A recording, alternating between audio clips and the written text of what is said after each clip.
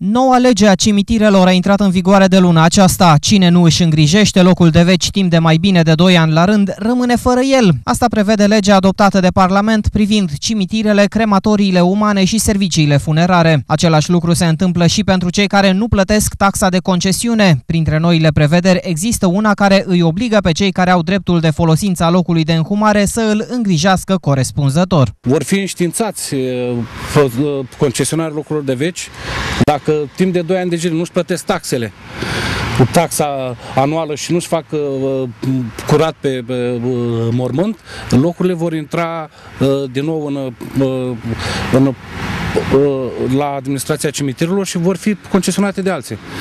Deci, până acea, cu, cu această ocazie rog cetățenii municipiului Galați care dețin locuri de veci în uh, cimitirile din, uh, din Galați să vină să-și achite taxele și să își facă curat pe mormânt, că dacă nu, vor fi, uh, li se vor anula actul de, conce, actul de concesiune și va fi un alt concesionar.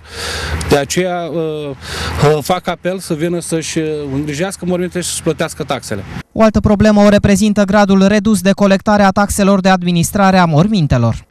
Gradul de în funcție de cimitir, stăm cu o colectare mai, mai bună la, la cimitirul Sfântul Lazar în, în care ne aflăm, dar la cimitirul Eternitate, care este un cimitir foarte vechi, acolo avem un grad mai scăzut de colectare. Și la Ștefan cel Mare la fel, stăm binișor.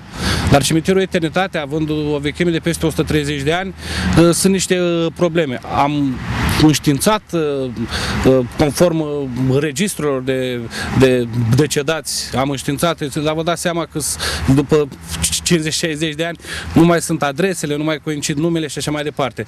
O să facem o, o campanie mai, mai agresivă prin dumneavoastră și prin, și prin monitorul oficial în care le vom spune că dacă în termen de 90 de zile nu vin să-și, să-și achite taxele către noi, ă, actul de concesiune va fi anulat și acel loc va fi reconcesionat. Administratorul are și el obligații. Acesta trebuie să îngrijească clădirile din cimitir, trebuie să împrejmuiască cimitirul cu gard și cu o perdea de arbori.